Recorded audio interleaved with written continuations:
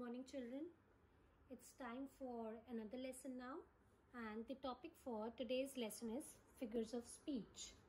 Now you all must be wondering that why ma'am is teaching us figures of speech. Children which topic are we doing these days?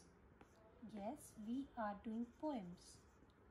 So children making use of figures of speech in our poems make our poems strong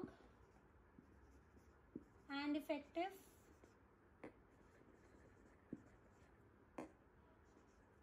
It gives a powerful impact to our poems.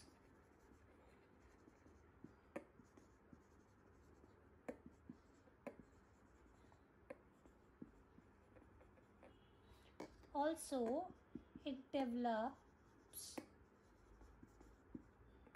the interest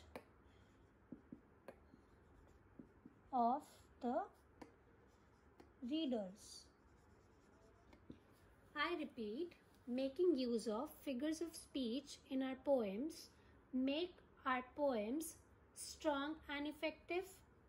It gives powerful impact to our poems and it develops the interest of the readers.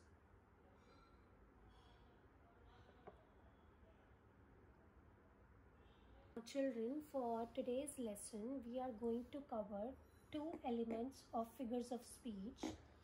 First one is a simile and second one is a metaphor. First, we are going to talk about simile.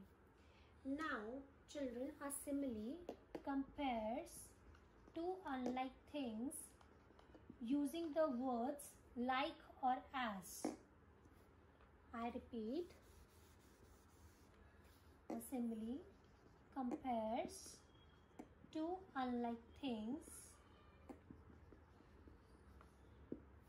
using the words like or as.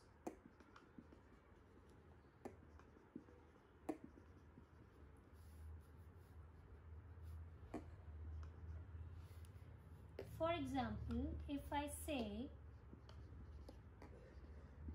my brother is as strong as an elephant.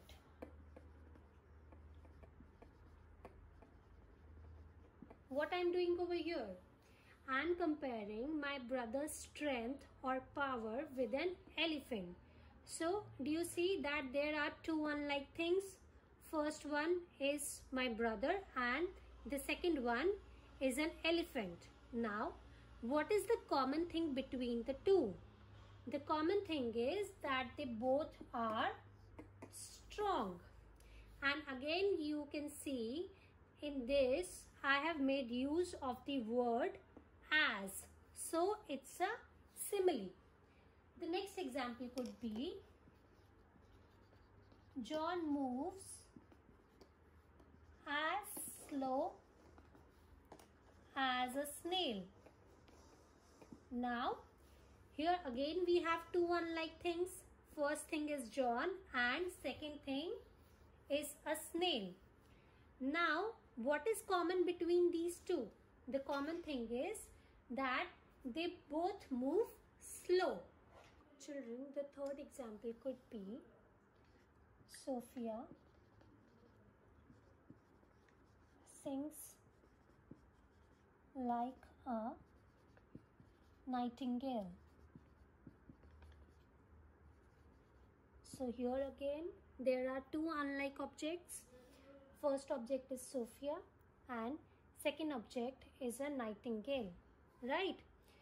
Now as you can see in all these three examples in order to compare two unlike objects the words like and as have been used. Can you see? So, these words show us that these three sentences are similes. Children, in a simile, there is no direct comparison. Whereas, in a metaphor, there is a direct comparison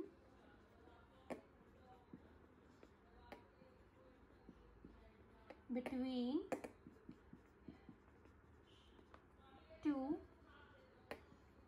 unlike things without using the words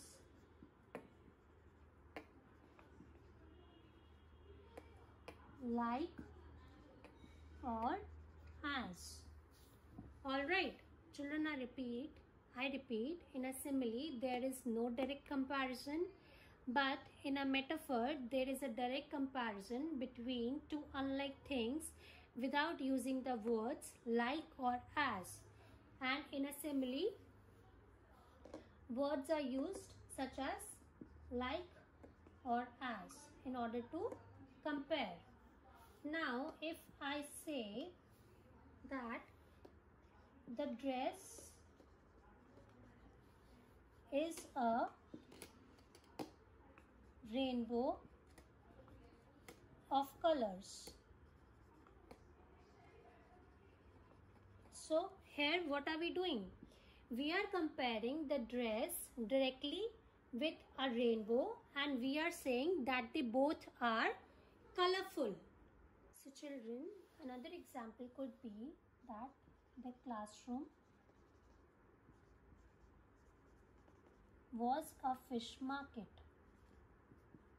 So here again I am comparing two unlike objects that is the classroom and a fish market and a direct comparison is made over here without making use of the words like or as. In short, I mean to say that there was so much chaos in the classroom that it was looking like a fish market. The third example could be the alligator's teeth are like sorry not like teeth are white daggers right? So here again a direct comparison is made between alligator's teeth and daggers what I mean to say over here is that the alligator's teeth are as sharp as white daggers. Alright children, so here in these three examples, you can see a direct comparison is made between two unlike objects without making use of the words like or as. So children go through this video lesson and make notes on it. Try to think about similes and metaphors that can be used for our camouflage poems. So that's all for today. Thank you. Have a nice day.